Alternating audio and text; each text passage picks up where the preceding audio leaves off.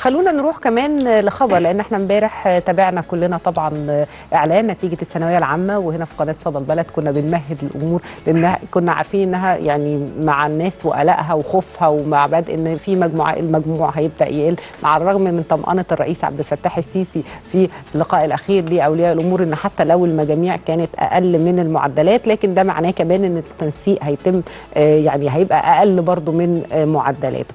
طبعا بنقدم التهاني لأبنائنا في الثانوية العامة وأسرهم بدأنا دلوقتي بقى بعد إعلان النتيجة بقى عندنا مرحلة الحديث عن تنسيق الجامعات وده اللي إحنا هنتابعه الحقيقة في الخبر اللي معانا لأن الدكتور خالد عبد الغفار وزير التعليم العالي أعلن الحد الأدنى لتنسيق القبول بالجامعات للمرحلة الأولى هو 88.4% علم علوم و80% علم رياضة و65% و7 من 10 65 و7 من 10% للشعبة الأدبية. وزير التعليم العالي أعلن أن انطلاق المرحلة الأولى للتنسيق هيكون يوم السبت المقبل 21 أغسطس، نهاية المرحلة الأولى للتنسيق هتبقى يوم 25 أغسطس وهيتم يوم 28 أغسطس إعلان نتيجة المرحلة الأولى للتنسيق. أضاف كمان إن هناك تخصصات جديدة لأول مرة هيتم إدخالها بالجامعات المصرية علشان نقدر إن إحنا نغطي سوق العمل داخل مصر والخارج. خلينا يعني كمان الحقيقة دكتور بشير فكرة الثانوية العامة، إحنا السنة دي بقى كان عندنا يعني كلام كتير جدا وتخوفات كتيرة جدا على الثانوية العامة لكن في النهاية إحنا قلنا يعني شفنا إن مع انخفاض المجموع آه أو إن إحنا بدأنا نرجع زي الثانوية العامة بتاعت زمان. لكن كمان التنسيق أهو. يعني نزل النهارده إحنا بنتكلم في أرقام يعني 65 و7 من 10 80% 88% ده ما كانش بيحصل قبل كده. يعني خليني أقول لحضرتك إنه اولا نتقدم بالتهنئة لكل الناجحين وبندعو بالتوفيق لكل لكل من لم يوفق. لكن دايما التغيير بيبقى فيه شيء من الصدمة. صحيح. إحنا بصدد تغييرات في نظام التعليم وأنا الحقيقة بأثمن جهود وزير التعليم الحالي في هذا الصدد ولكن دائما نحن بحاجة إلى ميكانيزمات تعويضية لتقليل آثار الصدمة على من يتم تجربة نظام جديد عليهم. ما فيش شك إنه الدفعة الحالية من الثانوية العامة ستدفع ثمن لهذا التغيير وفي شيء من التضحيات وربما السنة المقبلة والتي تليها. الميكانيزمات التعويضية إزاي أقدر أقلل تأثيرات القرارات والتغييرات على مستقبل ومصالح أبنائنا.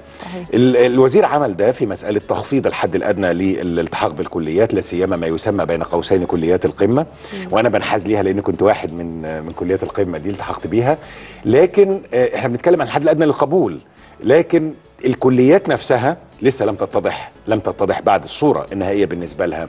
لكن في نهاية المطاف أتصور أنه المواطن بيشارك بدرجة أو بأخرى في عملية التغيير بيتحمل جزء لكن أتصور أنه الأجيال القادمة ربما تستفيد أكثر من هذا النظام. وإن كنت أتمنى أنه الثانوية العامة تمضي بنفس النظام القديم بينما الأجيال الجديدة اللي بدأنا نصلح معاها زي اللي في المرحلة الابتدائية هي التي تقدم على هذه المرحلة. لأنه اللي موجود في الثانوية العامة السنة دي واللي موجود السنة اللي جاية اتعود على النظام القديم. معلش اللي كان فيه تلقين اللي كان فيه حفظ اللي هو وسيلة التعليم التقليدية. صحيح. فكنا نكمل بنفس المنهج القديم في كل شيء في التصحيح في الامتحانات حتى في التنسيق.